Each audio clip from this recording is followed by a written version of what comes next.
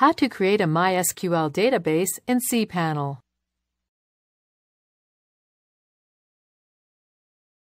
This demo assumes you've already logged into cPanel and are starting on the home screen.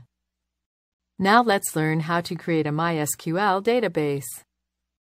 Click the MySQL Database Wizard icon. Enter a name for the new database, then click Next Step. Now we have to create a user for this database. Enter a username and create a password. Then click Create User.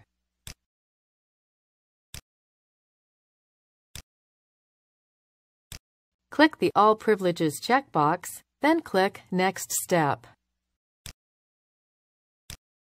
That's it. My MySQL database has been created and the new user added to the database. The database name, username, and password will all be needed for scripts that need to connect to the database.